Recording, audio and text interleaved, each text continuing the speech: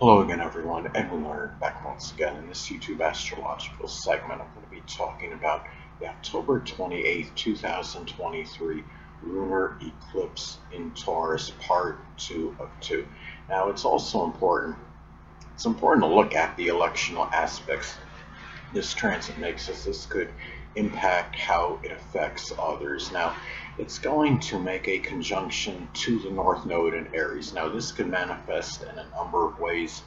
One way uh, may be that whatever is connected with the lunar eclipse may have a strong impact on one's future. Um, there may be a revelation or unveiling of uh, needing to develop um, Aries qualities. That can be a calling to be more aggressive, assertive, forceful, courageous, pioneering, action oriented, and outspoken. And now, with the moon being in Taurus, this may be flavored with uh, more persistence and stubbornness, more stick to itiveness. Now, another thing, too, is that it's important to look at other electional uh, transits that take place at the time of this lunar eclipse because they um, will be more amplified and intensified because they're taking place at the same time as the lunar eclipse. Now, transit Mars in Scorpio is going to make is going to be making an opposition to Jupiter and Taurus. Now, by itself, um, the aspect can suggest uh, tremendous over optimism regarding one's actions. Um, when Mars is in Scorpio, people may uh, be more capable of physical related efforts that may have seemed, uh, seemed unattainable or insurmountable. Now, however, the opposition to Jupiter can give over optimism in this. This transit may also manifest in overly vengeful actions, um, which is Mars and Scorpio. Actions as Mars, venge, you know, vengeful behavior can be Scorpio and um, and also opposing someone um, stubbornly, which is Taurus, holding on to a viewpoint, which is Jupiter. Now, another thing of significance is other transits to points in your natal chart at this time, as they could be more accentuated and pronounced because they're taking place at the same time as this lunar eclipse transit Venus in Virgo is going to make a uh, tight sextile to my natal Mars and Cancer. Now, this aspect may be favorable for frugal, which is Virgo. I'm spending, which is Venus, in taking action, which is Mars, um, with a, a, domestic, which is Cancer situation that may involve a short journey, which is the third house. It may also be auspicious um, for a good blending of love, which is Venus, uh, and it could be, you know, for me, in my case, it could be extrapolating, which is Virgo, sports, which is the fifth house data. Um, some of you may know I, you know, sometimes I do, um, you know, football prediction videos during the NFL season, and it may be also, um, another example of how this transit may affect me is that it could be, you know, having, you know, that drive. I mean, you're talking about, um, you know, Mars, you know, being in the third house in Cancer, having that drive and motivation, which is Mars for introverted communications, having that blend in with the Venus and Virgo. Let me, so sorry, be kind of rewind you know, way this could manifest for me could be, you know, with the, um, you know, having, you know, that love, which is Venus, or extrapolating, which is Virgo, sports, data, sports is the fifth house, and having the drive and motivation, which is Mars, um, for introverted, which is Cancer, communications, which is the third house. And um, the fact that this is a lunar eclipse may give more significance to this. Now, lunar eclipses can often indicate the departure of a prominent female in one's life. And with this being in Taurus, it could be somebody that has a Taurus sun, moon, or ascendant, or embodies those characteristics. It could be someone that is very loyal, steadfast, persistent, persevering, patient, and stable. It could be somebody that is also overly um, stubborn, um, possessive, materialistic as some examples.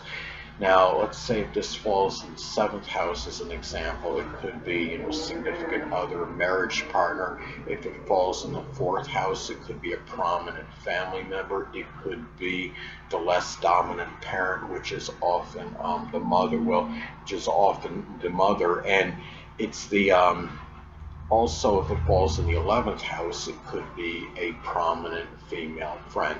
Now, the thing about this too is I believe lunar eclipses can be uh, serendipitous and something that may, you know, be initially be perceived as negative may actually translate into something, um, could be something auspicious. And for example, let's say this lunar eclipse um, expresses itself for someone as the ending of some money-making endeavor or venture. Money is associated with Taurus. Um, but it could also be uh, Taurus related positions such as a job in financing, banking, stocks, geology, carpet laying, or agriculture as some examples. Now let's say the person is unexpectedly let go from their job as they're walking as they're walking down the road they make some discovery um, of someone's wallet which has a good amount of money and credit cards in it. Now the person returns it to the rightful owner and as a result the person receives a monetary reward and is offered a position from this person that pays more money than what was made at the job that he or she was terminated from. Now, um, this lunar eclipse in Taurus, it's going to make a tight conjunction to prolific NFL quarterback Aaron Rodgers' ascendant there has been some talk and speculation regarding Aaron Rodgers making this unprecedented return. I believe it was from some uh, Achilles injury. Now, Taurus rules recuperative forces. I saw one post from a Facebook page that stated he could be ready as uh, early as week eight of the NFL season. Now, that would um, fall on the day um, after the eclipse. That would be October 29th, 2023. Now, could he make an announcement the day before that on the lunar eclipse that he is going to return soon? I really don't think he's going to be ready to return for week eight.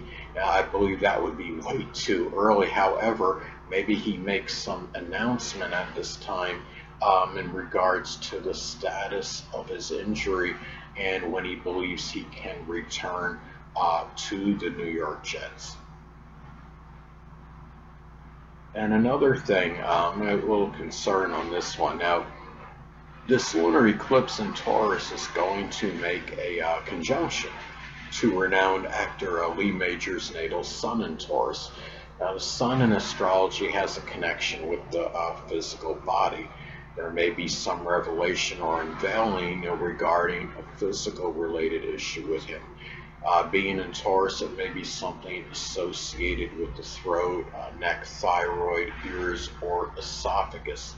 It's going to fall in his eighth house. Now, the eighth house in astrology is associated with trauma and surgery.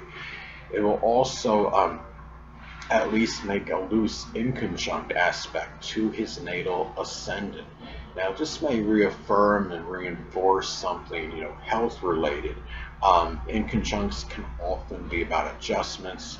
Um, it could be where he makes an announcement, though, regarding something um, that he is doing with his life because the sun is connected with one's life. The sun um, is also associated with what we may shine in, and it could be what he's doing with his life. The sun um, you know, the fact that this is going to be, um, you know, the full moon lunar eclipse can be about declaration, a declaration, and it can maybe something associated with acting because uh, Taurus has a connection with the arts. Now, um, on October 27, 2023, the day before the lunar eclipse in Taurus, a renowned singer Taylor Swift is going to release an album entitled uh, 1989 Taylor's Version. And uh, You know, the event itself may not seem like anything of great monumental importance. So, however, the fact this falls on the day before the lunar eclipse may give more significance and importance to this. The album, I believe, I mean, is likely going to be successful because it is coming out. Um, you know, Taylor Swift is the one that is the artist of the album, so it should be, you know, it's fairly safe to say it's going to have certain success. Now, however, it may generate more money than even uh, Taylor Swift may have envisioned or anticipated. Lunar eclipses can be about, you know, unveilings and going public with something. Taurus is connected with um, the arts and it has a connection with the arts, and that would include music the lunar eclipse um, is going to conjoin Jupiter, which is associated with luck, affluence, and prosperity. Now, it's also going to make a sextile to Saturn in Pisces. The aspect may be auspicious for more success.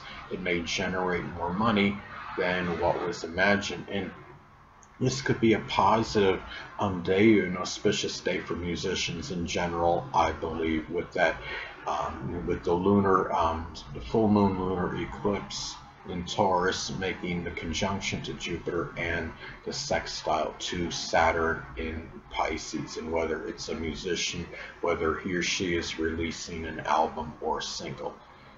Anyway, people, that'll conclude this YouTube astrological segment. Until next time, Edwin Learnard saying stay well.